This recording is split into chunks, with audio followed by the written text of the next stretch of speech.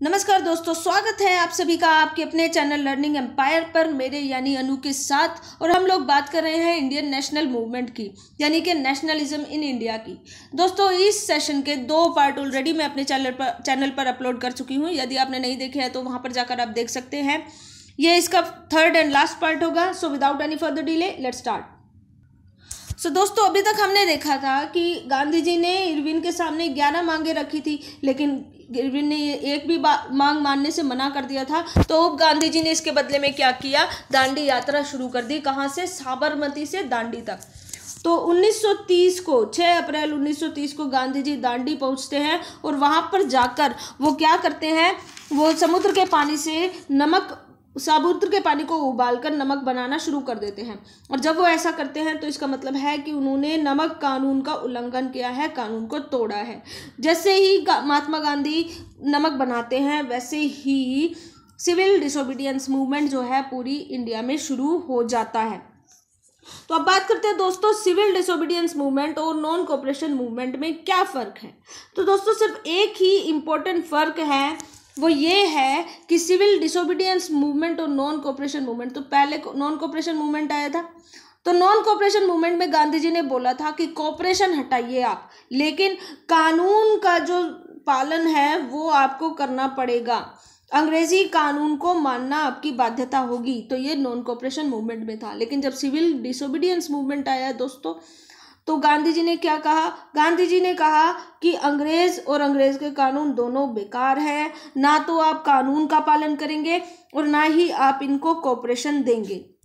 तो समराइज करके अगर मैं बोलूँ तो नॉन कोऑपरेशन मूवमेंट में दोस्तों आ, कानून को मानना होता था कानून का पालन करना होता था लेकिन सिविल डिसोबीडियंस मूवमेंट में कानून का पालन नहीं करना होता था।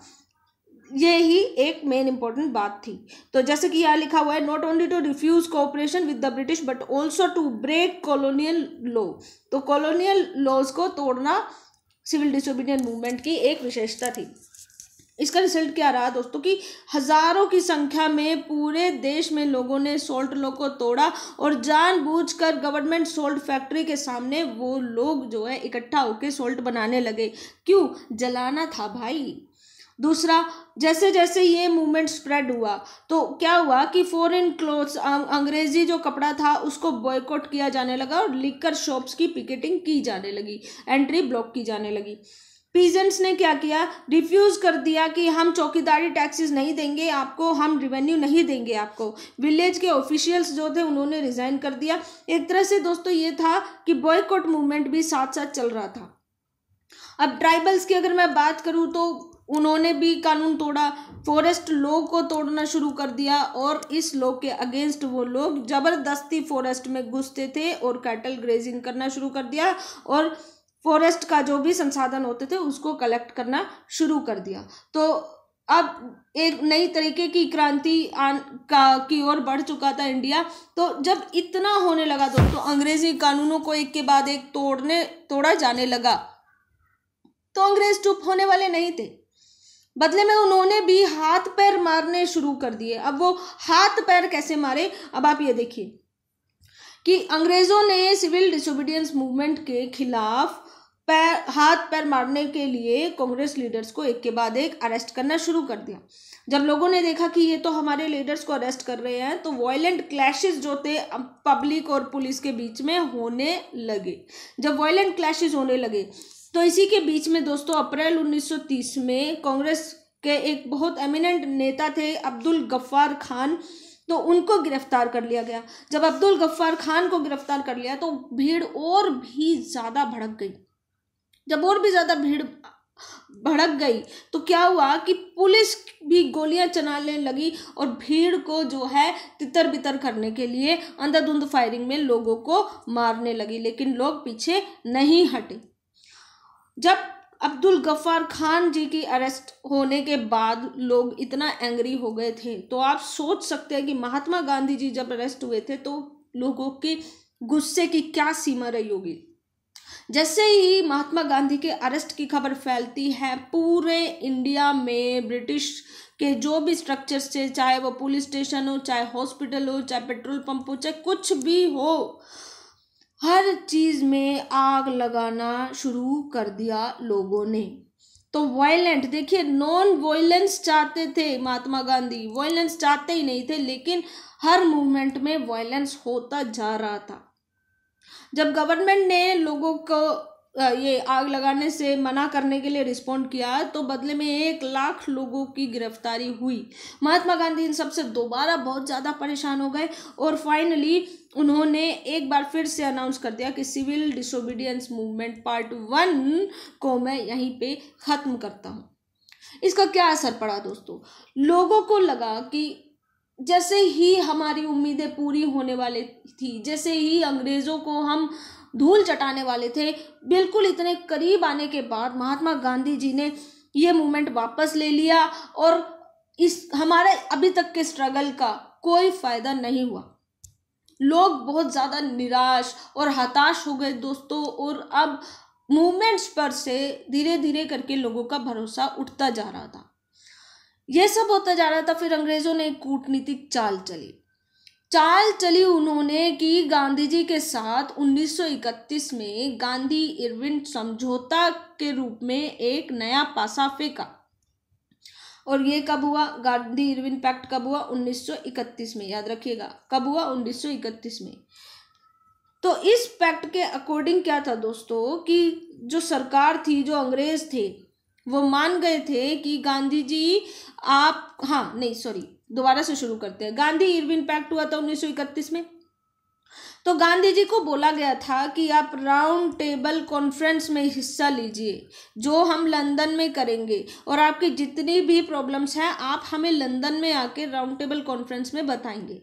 तो गांधी जी ने बोल दिया कि ठीक है, मैं हिस्सा लूँगा राउंड टेबल कॉन्फ्रेंस में। उन्होंने कहा कि आप दिसंबर उन्नीस सौ इकतीस में करवाएँगे, मैं हिस्सा लूँगा राउंड टेबल कॉन्फ्रेंस में। लेकिन मेरी एक शर्त है। तो शर्त क्या रखी उन्होंने कि जितने भी पॉलिटिकल प्रिजनर्स हैं, आप उनको रिहा करेंगे। तो अंग्रेज़ जो थे वो मान गए कि ठीक है, हम आपके पॉलिटिकल प्रिजनर्स को रिहा कर देंगे, लेकिन बदले में आपको राउंड टेबल कॉन्फ्रेंस जो लंदन में होने वाली है, उसमें हिस्सा लेना पड़ेगा। तो गांधी जी मान गए, उन्होंने राउंड टेबल कॉन्फ्रेंस में हिस्सा लिया दिसंबर 1931 में। याद रखिएगा कि ये दूसरी राउंड टेबल कॉन्फ्रेंस थी, पहली वाली जो थी, उसको कांग्रेस ने बॉयकॉट किया था, ठीक है? तो पहली वाली को बॉयकॉट किया और ये दूसरी राउंड टेबल कॉन्फ्रेंस में गांधी जी ने हिस्सा लिया। इस कॉन्फ्रेंस में दोस्तों कोई रिज़ल्ट नहीं निकलता और नेगोशिएशंस जो थी, बीच में ही ब्रोक हो जाती हैं, जिससे डिसअपॉइंट होकर गांधी जी वापस इंडिया आ जाते हैं। जब गांधी जी वापस इंडिया आते हैं तो वो क्या देखते हैं कि अब्दुल गफ्फार खान जी को और जवाहरलाल नेहरू जी को तो अभी भी जेल में ही बंद किया हुआ है। जबकि समझौता ये हुआ था कि पॉलिटिकल प्रिजनर्स को तो रिहा किया जाएगा। तो अंग्रेज़ों ने अपनी बात का मान नहीं रखा। दूसरी बात कि जो इंडिया की सबसे बड़ी पार्टी थी कांग्रेस, उसको अंग्रेज़ों ने इलीगल डिक्लेयर कर दिया। तो गांधी जी समझ गए कि ये तो अंग्रेज़ों की कूटनीतिक चाल थी, धूर्त अंग्रेज़, चलाक अंग्रेज़, और गुस्से में गांधी जी ने क्या किया कि civil disobedience movement part two launch कर दिया। कब लॉन्च किया? 1932 में। तो जैसे ही गांधी जी ने ये मूवमेंट शुरू किया। वैसे ही एक साल से थोड़े से ज़्यादा समय में 1934 तक ये जो मूवमेंट था मोमेंटम खोने लगा। अब जैसा मैंने आपको बताया दोस्तों कि civil disobedience movement part one को जब गांधी जी ने वापस लिया पार्ट वन को जब गांधी जी ने वापस लिया तो लोग थोड़ा परेशान हो गए, निराश हो गए थे कि क्यों? गांधी जी ने ऐसा क्यों किया? जब हम ऑलमोस्ट देयर थे ऑलमोस्ट देयर थे अपनी उम्मीदों को पूरा करने के, वैसे ही गांधी जी ने मूवमेंट वापस ले लिया, हमारा स्ट्रगल ख़त्म हो गया। तो अब सवाल आता है कि दोबारा से जब ये मूवमेंट शुरू हुआ तो अलग अलग कम्युनिटी अलग अलग क्लास के लोगों ने इस मूवमेंट को कैसे देखा और इस मूवमेंट के लिए किस तरीके से प्रतिक्रिया दी? तो लेट्स सी इस मूवमेंट में हम देखेंगे दोस्तों कि कुछ क्लासेस को देखेंगे, जैसे रिच पीजेंट्स को देखेंगे, फिर हम पुअर पीजेंट्स को देखेंगे। इसके साथ हम बिज़नेस क्लास लोगों को देखेंगे इंडस्ट्रियल वर्कर्स को देखेंगे और लास्ट में हम देखेंगे वुमेंस को। तो सबसे पहले अगर मैं बात करूँ दोस्तों रिच पीजेंट्स की तो जब civil disobedience movement part one आया था तो ये लोग बहुत ज़्यादा एक्टिवली इन्होंने पार्टिसिपेट किया था। अब आपको पता है दोस्तों कि इंडिया में जो था भूखमरी आ गई थी क्रॉप्स खराब हो गई थी और ये जो रिच पीजेंट्स थे भारी मात्रा में क्रॉप्स उगाते थे। तो जब क्योंकि क्रॉप्स खराब हो गई थी तो उस समय में इनको बहुत ज़्यादा भारी नुकसान हुआ था। अब इनको बहुत ज़्यादा भारी नुकसान हुआ था तो ये ब्रिटिश की पॉलिसीज़ से भी इनको बहुत धक्का लगा कि ब्रिटिश पॉलिसीज़ ने इत, इतने भारी नुकसान के बावजूद भी रिवेन्यू में कोई रियायत नहीं दी। तो रिवेन्यू हाई रहा लेकिन पेमेंट और पैसे तो आए नहीं लोगों के पास। तो इकोनॉमिक रिसेशन भी आया तो इन सभी रीजंस की वजह से जो रिच पीजेंट्स थे, वो अनेबल थे, वो समर्थ नहीं थे कि वो रिवेन्यू डिमांड को पूरा कर सके। उन्होंने डिमांड की रिच पीजेंट्स चाहते थे कि रिवेन्यू में थोड़ी कमी की जाए ताकि हम आपका रिवेन्यू भर सके, लेकिन अंग्रेज़ों ने ऐसा नहीं किया। तो क्या होता है कि सिविल डिसोबीडियंस वन में जो है ये रिच पीजेंट्स जो हैं, बढ़ चढ़ के हिस्सा लेते हैं। उनको लगता है कि रिवेन्यू डिमांड कम हो जाएगी और हम, हमें बहुत ज़्यादा रियायतें मिलेंगी। लेकिन गांधी जी ने ये तो बंद कर दिया। पार्ट वन को तो वापस ले लिया। इससे क्या हुआ? कि डीपली डिसअपॉइंट हो गए थे रिच पीजेंट्स और उन्होंने जो है आ, बहुत सारे रिच पीजेंट्स ने 1932 में जब इसका सेकंड पार्ट लॉन्च हुआ सिविल डिसोबीडियंस मूवमेंट को तो उसमें पार्ट लेने से मना कर दिया। ठीक है? ये तो थी दोस्तों रिच पीजेंट्स की बात यानी अमीर किसानों की बात। अब बात करते हैं गरीब लोगों की या गरीब किसानों की। तो दोस्तों गरीब किसान क्या करते थे? उनकी रोजी रोटी चलती थी लैंड के खेतों में। तो लैंडलॉर्ड्स के खेतों में ये गरीब किसान जो है, अपना काम करते थे तो इसके बदले में वो रेंट भी दिया करते थे। ठीक है? तो अब क्या हुआ कि फ़सल तो खराब हो गई तो पैसे तो आए नहीं तो रेंट कैसे दें? तो लैंडलॉर्ड जो थे, वो किराया नहीं कम कर रहे थे। तो ये जो गरीब लोग थे, ये चाहते थे कि बिल्कुल अब तो हमें किराया देना ही नहीं तो सिविल डिसोबीडियंस मूवमेंट जब फ़र्स्ट फ़ेज़ आया तो इन्होंने कम किराए की नहीं, इन्होंने तो सीधा सीधा बोल दिया कि अभी हम किराया नहीं देंगे लैंडलॉर्ड्स को। इतनी, इतना भुखमरी की सिचुएशन आ रही है, हमारे पास खाने को रोटी नहीं है तो हम किराया कहाँ से दें? हम किराया नहीं देंगे। तो पहली बात तो कि उन्होंने लैंडलॉर्ड्स को पैसे देने से मना कर दिया। दूसरी बात ये कि वो ऐसे ऐसे केसेस उठाते थे ऐसे ऐसे इश्यूज़ उठाते थे कि जिससे जो अमीर पीजेंट्स थे उनका आ, उनके उनके नुकसान की बात होती थी और गरीबों के फ़ायदे की बात होती थी। अब जब कांग्रेस थी दोस्तों तो इनको पैसे इनको फाइनेंशियली सपोर्ट कौन कर रहा था? अमीर लोग रिच पीजेंट्स जो थे इनको सपोर्ट कर रहे थे। तो कांग्रेस जो थी एक ये एक दूसरे को सपोर्ट कर रहे थे ऐसे। तो दोस्तों, कांग्रेस जो थी इन पुअर पीपल की ये जो डिमांड थी कि लैंडलॉर्ड्स को किराया नहीं दिया जाए, उसके कैंपेन को पूरा करने का या समर्थन देने का कांग्रेस का कोई इरादा नहीं था। तो इससे क्या हुआ दोस्तों कि कांग्रेस की और पुअर पीजेंट्स की जो बीच में रिलेशनशिप्स थी, वो खराब होनी शुरू हो गई। अब ये थी दोस्तों रिच और पुअर पीजेंट्स की बात। अगर मैं बात करूँ दोस्तों बिज़नेस क्लास की तो इन लोगों ने क्या किया दोस्तों? इन लोगों ने फ़र्स्ट वर्ल्ड वॉर के दौरान बहुत ज़्यादा पैसा कमाया, अंधाधुंध कमाई की। अब ये बहुत अमीर हो गए थे। तो अब क्या हुआ? फ़र्स्ट वर्ल्ड वॉर ख़त्म हो गया और कॉलोनियल पॉलिसीज़ आ गई। इंडिया में कॉलोनियल राज था, शासन था तो कॉलोनियल पॉलिसीज़ आ गई। अब जब कॉलोनियल पॉलिसीज़ आई तो यानी बाहर से जो सामान था, वो इंडिया में इंपोर्ट होता था। तो इंडिया में जो सामान बनता था, उसकी डिमांड बहुत ज़्यादा कम हो गई थी। ठीक है? तो होता क्या था कि इन लोगों को बहुत ज़्यादा नुकसान नुकसान होता था। तो ये क्या करते थे कि ये नहीं खुश थे ब्रिटिश की पॉलिसी से, जो कि इनके बिज़नेस एक्टिविटीज़ को रिस्ट्रिक्ट करती थी। दूसरी बात ये प्रोटेक्शन चाहते थे कि फॉरेन गुड्स का जो इम्पोर्ट हो वो लिमिटेड मात्रा में हो, ताकि हम अपने इंडिया में बने हुए सामान को भी बेच पाएँ। लेकिन अंग्रेज़ ऐसा नहीं करते थे। तो इन्होंने क्या किया? ये है दोस्तों जी डी बिरला और ये है पुरुषोत्तम दास। ये दोनों अपने टाइम पे बहुत बड़े इंडस्ट्रियलिस्ट थे।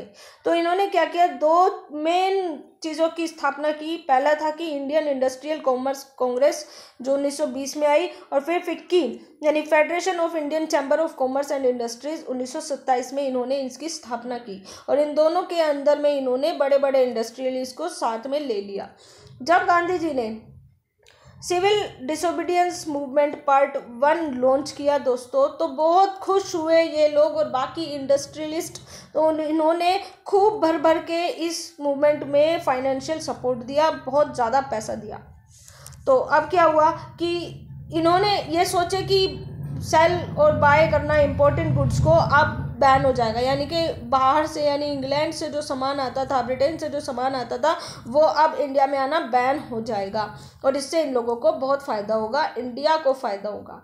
तो लेकिन गांधी जी ने जब ये मूवमेंट बीच में ही वापस ले लिया तो ये लोग बहुत ज़्यादा उदास हुए, निराश हुए और दूसरी बात की जब राउंड टेबल कॉन्फ्रेंस भी हुई थी तो उसमें जब कोई आउटकम नहीं निकला था तो सिविल डिसोबीडियंट मूवमेंट का जो सेकेंड फ़ेज़ था, इसको लेके ये लोग बहुत ज़्यादा शक करते थे।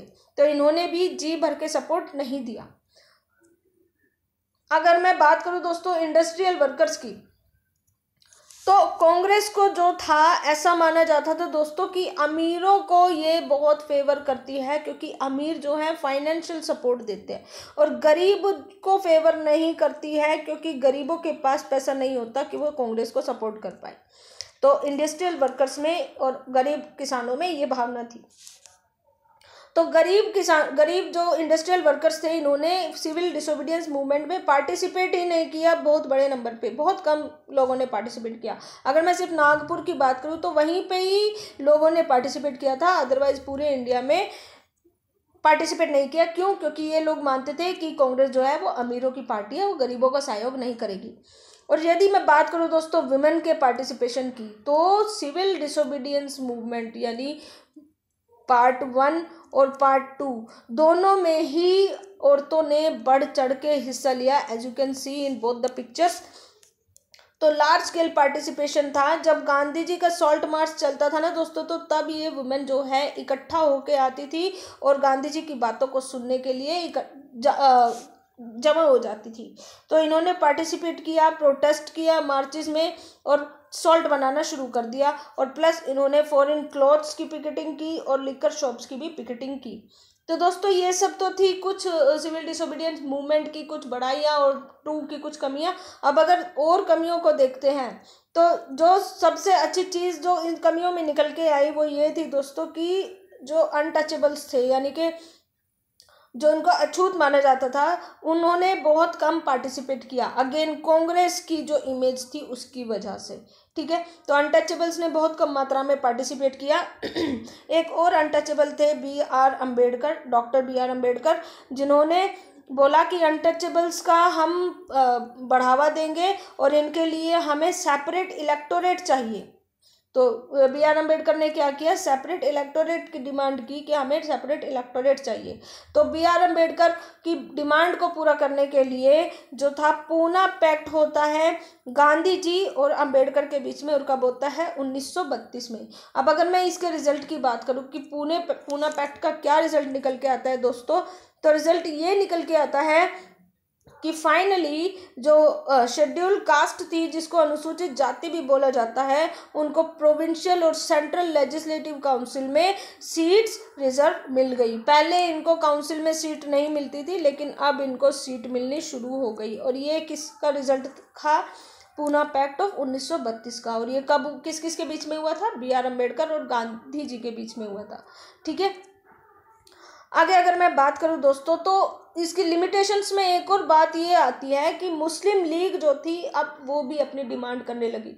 मुस्लिम्स को ये लगता था दोस्तों कि जो कांग्रेस है ना ये हिंदू महासभा और हिंदू बाहुल्य सभाओं की आ, ज़्यादा बातें सुनती है और मुस्लिम्स की ये कांग्रेस बातें नहीं सुनती या कम बातें सुनती है। अगेन कांग्रेस की जो इमेज थी वो बहुत बड़ा रोड़ा अटका रही थी इंडिपेंडेंस में। तो अब इनके मन में ये सवाल उठने लगा था दोस्तों कि जब अगर इंडिया इंडिपेंडेंट हो गया तो फिर आगे जो काउंसिल्स बनेंगी तो उसमें रिप्रेजेंटेशन जो होगा, वो किसका ज़्यादा होगा? यानी कौन रिप्रेजेंट करेगा? दूसरी बात, जो मोहम्मद अली जिन्ना थे, जो मुस्लिम लीग के बहुत इंपॉर्टेंट मेंबर भी रहे हैं तो मोहम्मद अली जिन्ना ने डिमांड की कि जो भी रिजर्व्स हाँ उन्होंने क्या डिमांड की कि जितनी पॉपुलेशन मुस्लिम्स की है, उसके अनुपात में जो है आप सेंट्रल और स्टेट लेजिस्लेटिव में मुस्लिम्स को सीट देंगे। तो उन्होंने कहा कि बंगाल और पंजाब प्रोविंस में, क्योंकि मोस्टली मुस्लिम हैं तो इन प्रोविंसेस में जो भी आगे इन फ्यूचर अगर सीएम बनेगा तो वो मुस्लिम ही बनेगा, क्योंकि यहाँ पे जो है मुस्लिम्स की संख्या बहुत ज़्यादा है। और उस समय पे बंगाल पता है दोस्तों कितना था?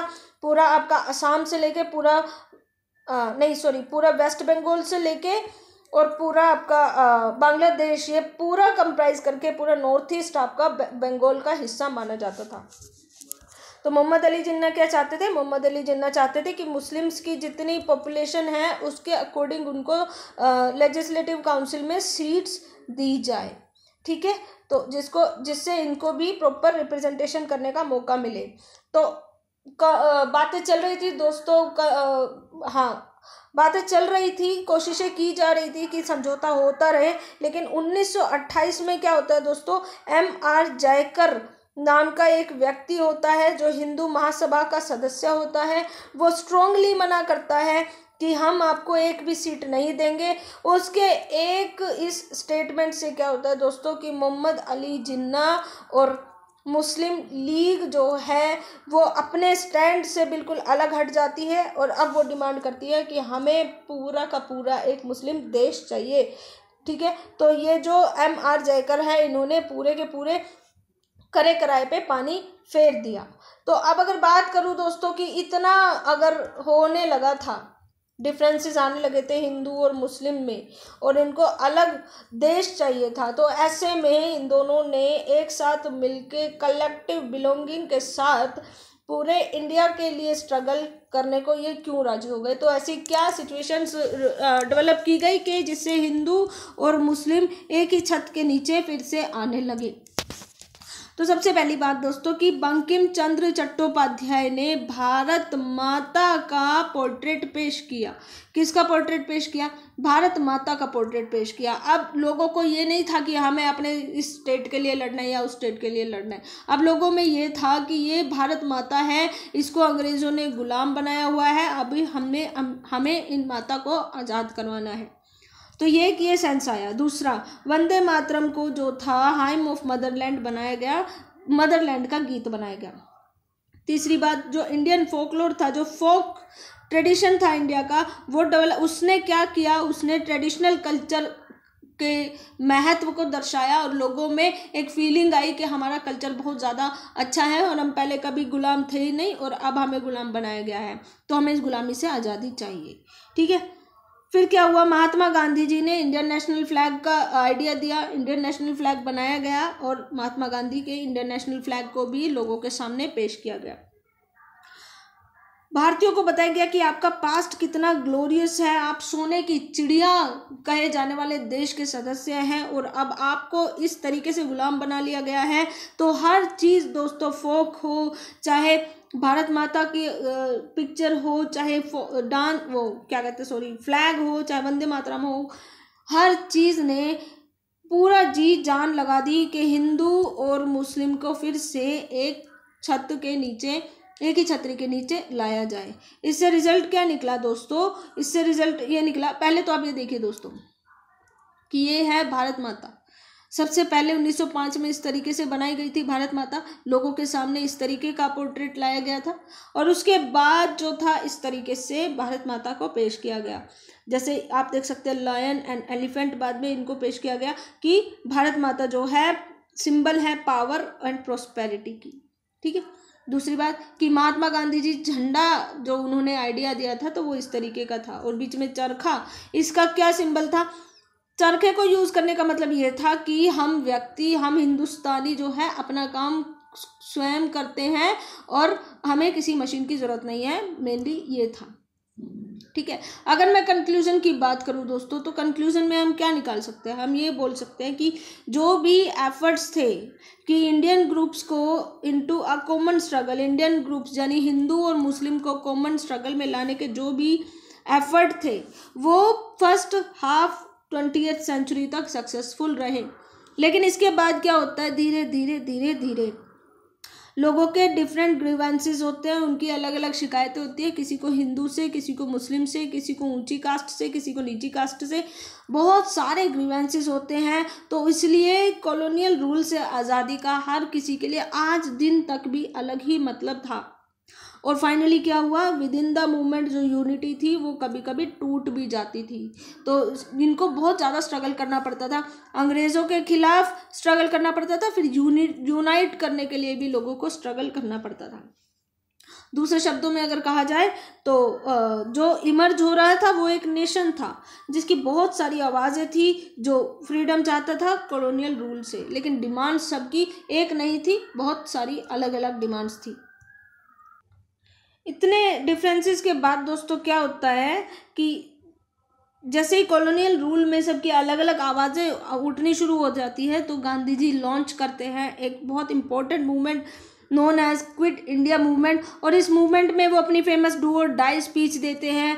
बहुत एफर्ट किया जाता है और फाइनली क्या होता है दोस्तों कि अंग्रेज़ जो है, भारत से चले जाते हैं। अंग्रेज़ों भारत छोड़ो का नारा दिया जाता है और अंग्रेज़ भारत छोड़ के चले जाते हैं। और रिज़ल्ट क्या होता है कि फाइनली 1947 में इंडिया जो है, आज़ाद हो जाता है। So this is the end of our today's topic so thank you for your time guys and please subscribe to our channel and stay home stay safe God bless you all जय हिंद